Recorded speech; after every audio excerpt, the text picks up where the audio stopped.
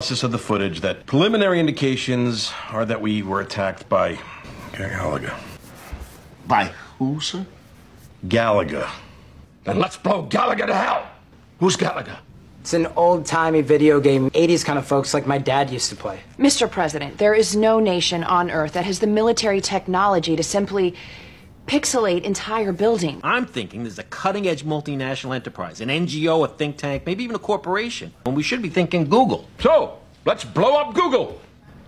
Can somebody take Grandpa's keys away before he uh, drives us into a ditch? Who is this person? The sandwich guy? This here is uh, my old uh, arcade game uh, technical advisor uh, person. He, uh, Sam Brenner. He works in the tech sector. So, Caltech, MIT? MIT, yes. Mississippi Institute of Technology, though not the one you were thinking of. Anyway, more to the current point, uh, Mr. Brenner here was the World Galaga